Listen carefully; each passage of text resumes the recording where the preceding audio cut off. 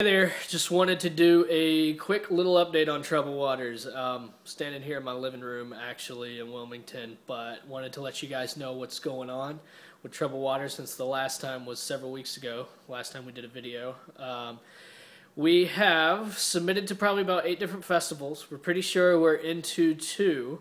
Um, one of them's in Georgia, the other one's in Wilmington here. Um, we will announce which festivals and what time we'll be screening and everything. They're in the fall. Um, once we have word that we're 100% sure we're in, but we are 95% sure we're going to be screening there. Um, the other things that we've got going on this month, we are finishing up the final edit of Troubled Waters, finally.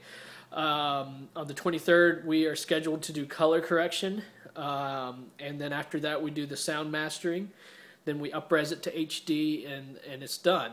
Um, before that, though, we need to do the subtitles. The subtitles um, from English to Spanish and finalize the Spanish to English ones. That's um, $1,850. Um, then we got to do the color correction, and that's another 10000 um, and then the sound is 3500 the good news is is that we have the money for the sound. Somebody gave us the entire amount that we need to be able to do the sound. We got a different estimate too from our original estimate from a local guy here that's really good.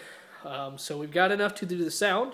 We just need enough to do the subtitles and the color correction and we'll be done. So we've got a lot of prep work over the next two weeks to get the film ready to send it off to the post house and we got to edit a couple songs in there that we need to, um, uh, some new songs we're going to be putting in there.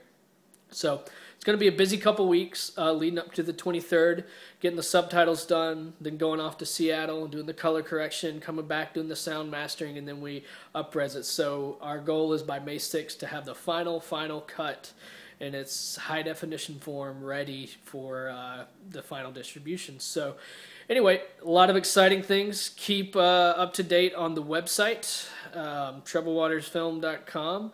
We're going to have news about our um, future projects for Billy Hill Productions um, on bhpfilm.com website if you want to go there. But it's just um, we're real excited about what's going on with our uh, other projects too. We can't wait to get this documentary 100% finished and out there to people to see it. So thank you guys for your support and um, have a good Passover and a good Easter.